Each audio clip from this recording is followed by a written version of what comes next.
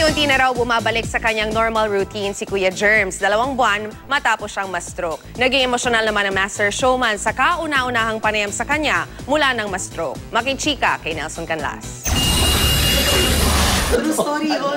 Matapos ang mahigit dalawang buwang pagpapagaling, kinumusta ng GMA News si Herman Moreno. Hindi pa tuluyang nanunumbalik ang kanyang mabilis na pagsasalita. Pero in the pink of health na raw ang master showman. First of all, Kuya Germs, thank you for doing this and welcome back. Thank you. Kamusta na ang Master Showman? Well, thank God. ah, ito, my second chance. January 2 nung ma-mild stroke ang 71-year-old showbiz icon. Ang itinuturong dahilan, stress. Well, ah, being in the showbiz for so many years, maraming pinagdaanan, maraming iniisip, Maraming stress. Maraming stress. Hindi malis yun eh. Nagte-therapy ngayon si Kuya Germs at unti-unti nang bumabalik sa kanyang normal routine. Sa gitna nga ng interview, napahalakhak ang master showman nang ikwento ang pinagkakaabalahan niya ngayon. So, it, So, yun ang pinagkakaabalahan nyo ngayon, Kuya Germs? Pwede ko ba ilagay ito?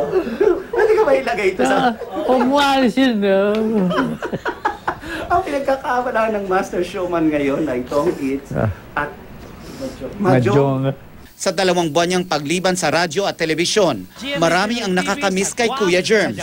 At maraming nagtatanong, Kuya Germs, kailan ka babalik? Kaya unti-unti. Hindi naman ako pinagmamadali ni Boss Mike. eh. Take your time. Of course. Ganun din sa show sa TV. Pero sa gitna ng pagpapagaling ni Kuya Germs, nakukuha pa raw niyang sumaglit sa GMA para silipin ang kanyang mga katrabaho. Gusto mo rin naman makita, maramdaman na, na unti-unti. Siyempre namimiss mo eh. De, minsan nga, sasakay ko sa sakyan eh, dumadaan kami dito, tingnan ko lang itong GMA eh.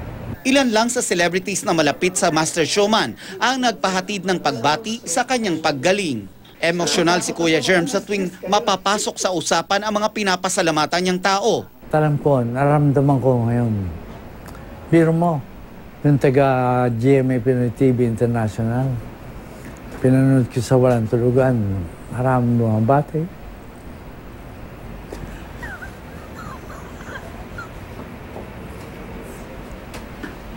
Eh, kaya ako nagpapasalamat sa ating Panginoon dahil ah, alam kong may mission pa ako. Eh. Of course. Marami kong plano, Sa gitna ng kanyang mga luha, nagpapasalamat ang Master Showman sa bumubuo ng GMA Kapuso Network, pati na sa malalapit sa kanyang puso, sa loob at sa labas ng showbiz. Walang tulugan. Walang siesta. Ayan. Again, thank you very much. I love you all. Nelson Canlas Nakatutok, 24 Oras.